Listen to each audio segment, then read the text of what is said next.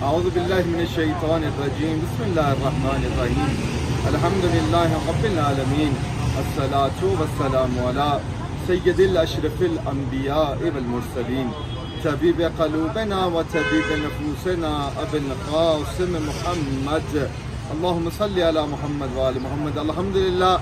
Azza wa Jal, the merciful has blessed us all with another year of this blessed month of Ramadan al-Mubarak. And Alhamdulillah today is the 19th of Ramadan.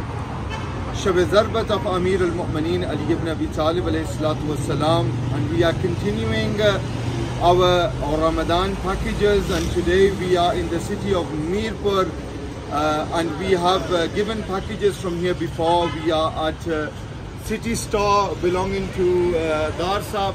Uh, last year we also used them to give our Ramadan packages and we are here again this year to give our Ramadan packages. It is a blessing from Allah Azza that uh, one person has the ability to feed another person. This is a barakat from Allah Azza because not everyone, even those that have money, cannot have the awqat and the blessing from Allah Azza wa Jal to feed someone. The Holy Prophet of Islam, Hazrat Muhammad Mustafa sallallahu alayhi wa sallam said that that person who feeds another mu'min, who gives food and water to another person, he will be fed by me on the day of Qiyamah. So this month of Ramadan, inshallah, like every year, you have helped us to give packages to those that are in need. We are continuing this this year. We have been giving in, giving packages throughout Pakistan, but now we are starting in Kashmir, Alhamdulillah. So we are going to go inside and inshallah uh, we will let you know what is in the package this year.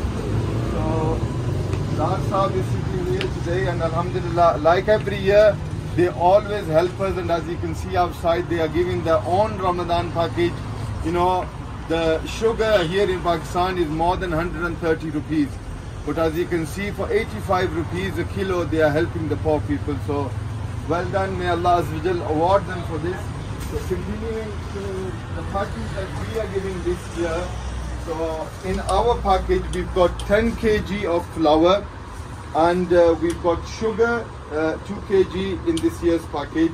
We've also got salt, we've got uh, jamashiri which the Pakistanis enjoy, we've got oil packages, we've got milk, uh, we've got uh, basar or chilies, we've got dates, juice, tea and everything that is required. So those mu'mineen that want to give extra, you know, uh, as you can see the shop is full.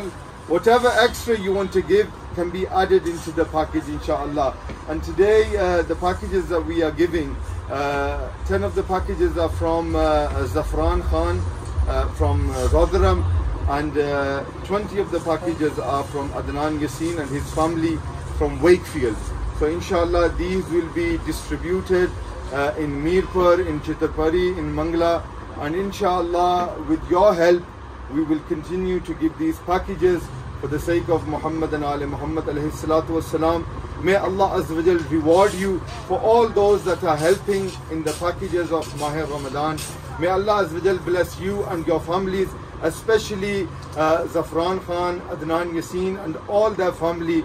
May Allah Azza wa give you the shafa'at of the Holy Prophet of Islam, Hazrat Muhammad Mustafa sallallahu alayhi wa sallam and may Allah give us this blessed month of Ramadan every year throughout our lives inshallah. May we continue to follow in the footsteps of the final messenger of Allah inshallah. May Allah Azza bless you all and bless us for giving us the ability to do these works and may we continue to do this. May Allah bless you once again. Assalamu alaikum wa rahmatullahi wa barakatuh